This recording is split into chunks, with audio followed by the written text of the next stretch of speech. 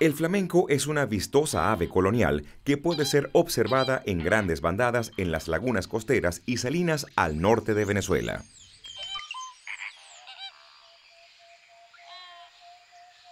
El grupo tiene muchos vigías y al menor signo de peligro lanzan su alerta. Estas aves se distribuyen generalmente entre Venezuela y la isla de Bonaire, donde mayoritariamente anidan a comienzos de año se les ha visto alimentarse de pequeños peces, aunque su principal fuente de alimento son larvas de insectos acuáticos y diminutos moluscos que viven en zonas de altísima salinidad. Con su boca sumergida en el agua, moviendo su lengua como si fuera una bomba, arrastran grandes cantidades de líquido, el cual es filtrado por unos órganos especiales que retienen las partículas nutritivas.